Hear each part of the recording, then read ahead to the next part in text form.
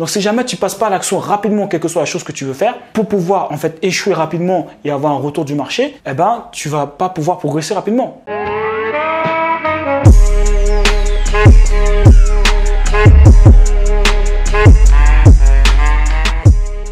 Alors bonjour et bienvenue sur cette nouvelle vidéo. J'espère les gars que vous allez bien depuis la dernière fois. N'hésite pas à t'abonner, à cliquer sur la cloche pour recevoir toutes les notifications mon gars. Attends, les gars veulent pas s'abonner. Je sais plus c'est quoi le pourcentage mais les gars, les gars regardent les vidéos, ils veulent pas s'abonner. Genre euh, ça leur fait mal quoi. Tu enjoy ou pas? Donc si tu enjoy, euh, abonne-toi mon ami, ça fait toujours plaisir. Ok, donc ici c'est Jonathan Hachi. L'idée de cette chaîne c'est pouvoir te permettre d'être libre géographiquement, d'être déterminé, motivé, ok, à passer à l'action et à créer ton propre business en ligne pour pouvoir voyager où tu veux, quand tu veux. Ok, la meilleure façon d'être libre géographiquement les gars, c'est d'avoir votre business en ligne.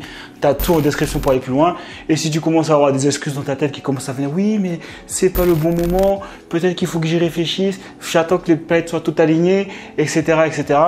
Euh, moi j'ai grandi dans le 91, dans le quartier des pyramides, j'ai redoublé mon BEP. Et pourtant, j'ai réussi à le faire, ok? Donc les gars, arrêtez un peu. Hein Arrêtez. Passez juste à l'action.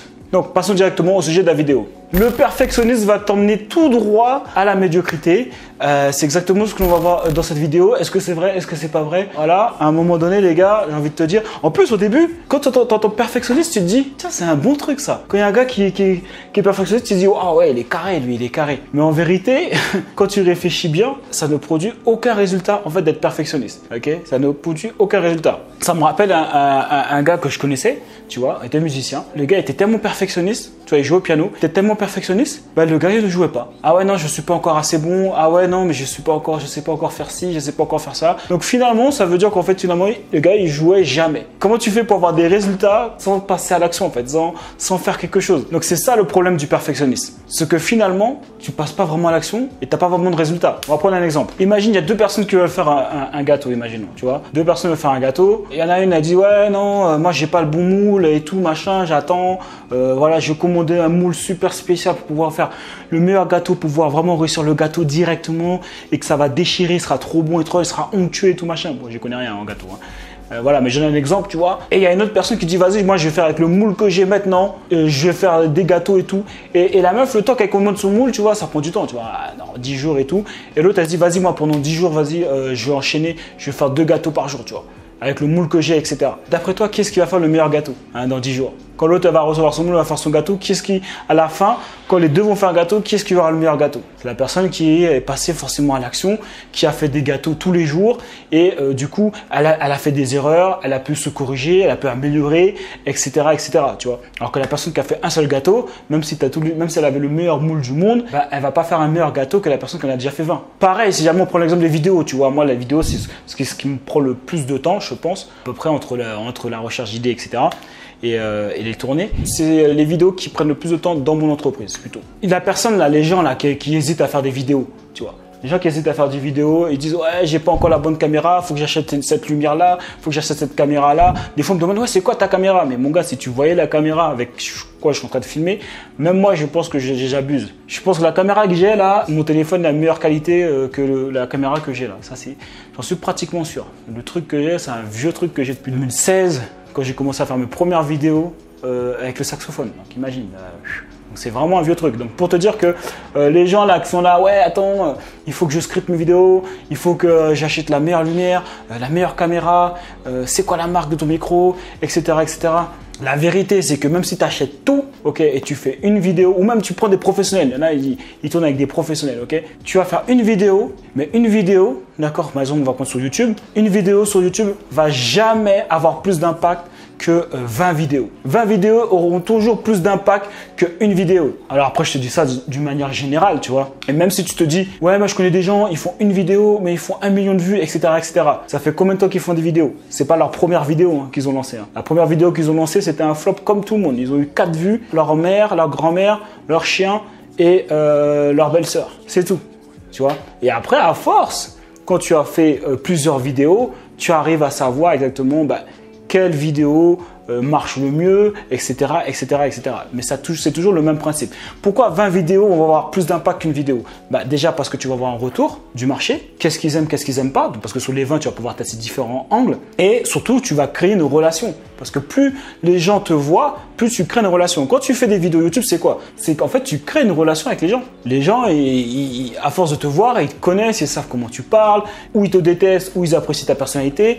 Mais en tout cas, tu crées une relation. C'est ça le but de faire des vidéos. Donc si jamais tu en fais qu'une, premièrement, bah, tu ne seras pas productif. Donc imaginons le gars il fait une, vidéo, ah, je fais une vidéo patate parce que je suis perfectionniste, je mets des effets, je fais des trucs de ouf, une vidéo patate par, par mois. Tu vois, ça fait 12. Moi frère, j'en ai, euh, j'en ai plus de 600 et quelques des vidéos. Pourquoi j'ai commencé comme ça? Parce que je savais que euh, j'arrivais après tout le monde, où il y avait déjà des, gens qui étaient présents dans le, dans le marché dans lequel je suis euh, depuis des années si j'arrivais et je commençais à faire le même nombre de vidéos qu'eux, bah, ça va pas, ça va pas fonctionner. Je fais comment pour, euh, pour me sortir du lot, tu vois. Du coup, je suis arrivé, j'ai dit, vas-y, je fais une vidéo par jour. Au moins pour, pour commencer, tu vois. Pendant un an et demi, deux ans, je pense j'ai fait une vidéo par jour. là, on reprend, on reprend le rythme là. Mais tout ça pour te dire que si jamais j'étais perfectionniste, bah, j'aurais jamais lancé autant de vidéos. Déjà, premièrement, parce que le perfectionnisme, c'est faux. Il y a plein de gens qui font des vidéos juste avec leur téléphone, sans montage, hop, ils envoient. Et ça, je l'ai fait plusieurs fois, tu vois. Plusieurs fois, hop, je prends ma caméra, je parle, boum, sans montage, sans rien. Voilà, et, c'est des vidéos qui fonctionnent des fois mieux, et même souvent qui fonctionnent mieux que les vidéos qui sont montées et tout, euh, tu vois. Donc moi, pour te donner un exemple par rapport à moi, pour te dire comment moi je fonctionne et comment honnêtement tu devrais fonctionner, clairement. Et je vais rester sur l'exemple des vidéos YouTube. La production des vidéos YouTube, dans un premier temps, je fais euh, le choix du thème, euh, du sujet. Ok, je cherche une idée, ok, de, de quoi je peux parler. Et dès que j'en trouve une, la première idée qui me passe par la tête, je la prends, je la note et je commence à écrire, tu vois. Bah après, je tourne la vidéo. Donc, tu vois, quand je fais le choix du sujet, je suis pas en train de me dire, ouais, mais est-ce que les gens vont aimer Est-ce que ceci? Est-ce que est-ce c'est un bon sujet? Est-ce que c'est machin? Je me prends pas la tête. Ça me, ça me traverse l'esprit, boum, je, je développe, c'est tout. Après, quand j'arrive au moment où je tourne la vidéo, la vidéo, je la tourne. Si jamais elle est flinguée, enfin dans ma tête en tout cas, je me dis, ah, elle est flinguée, je l'envoie quand même. Il n'y a aucune vidéo que je, que je tourne et que après je dis, ah non, j'en vois pas, non, elle est pas assez bien, ouais, j'ai pas assez d'énergie, ouais, j'ai pas assez ceci, ouais, je suis passé cela, la lumière, elle est pas assez bon, le son n'est pas assez bon, j'en ai rien à faire. Si jamais ça a foiré, le son, il n'a pas été pris, il n'a pas été ceci ou la lumière n'était pas bonne, tant pis, j'en vois quand même. Et après, je m'améliorerai euh, sur la prochaine vidéo, tu vois. Et ce qui se passe, c'est que résultat des comptes, quand des fois je crois que des vidéos elles sont flinguées, tu vois que ce soit par exemple au niveau du son et tout machin, c'est des vidéos qui fonctionnent de ouf. Et quand par exemple au niveau des idées, euh, des idées vidéo, je me dis ah ouais cette idée là, bon c'est un truc vite fait, tu vois.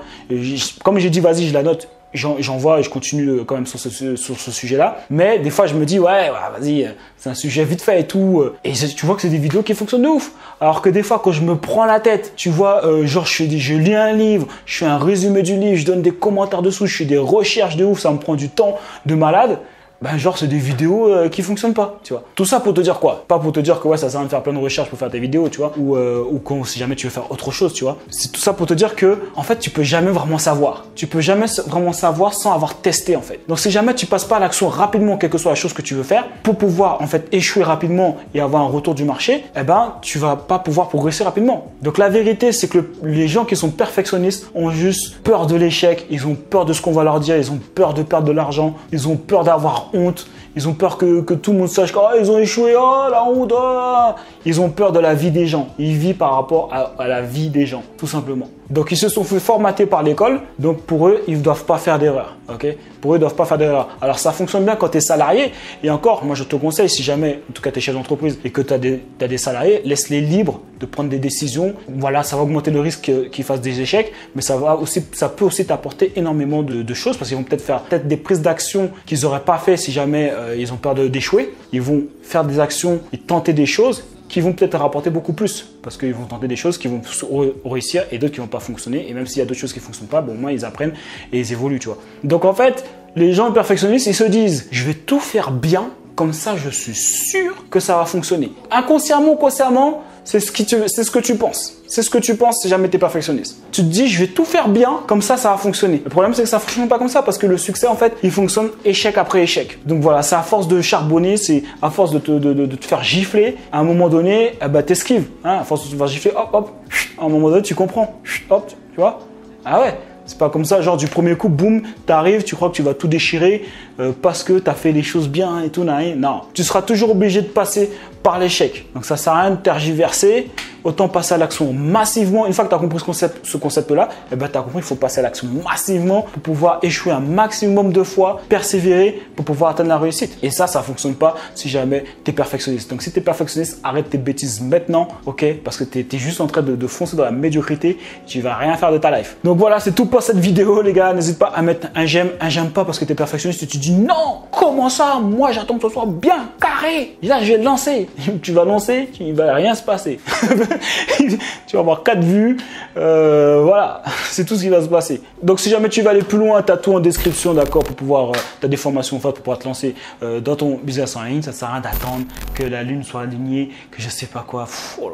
Les gars, désapprenez tout ce qu'on vous a appris. Passez à l'action, il n'y a aucun risque, les gars il va rien se passer, les gars. Il sera toujours en vie, il va rien se passer. Tu prends une formation offerte, tu commences à taffer, tu vois que c'est possible parce que ton cerveau va s'ouvrir, boum boum. Et puis après, voilà, après tu investis, boum, et après tu as des résultats. Il n'y a, rien de compliqué en vérité. Hein. Ok, donc les gars, on lâche rien et on reste déterminé. Il y a eux et à nous. Choisis ton camp.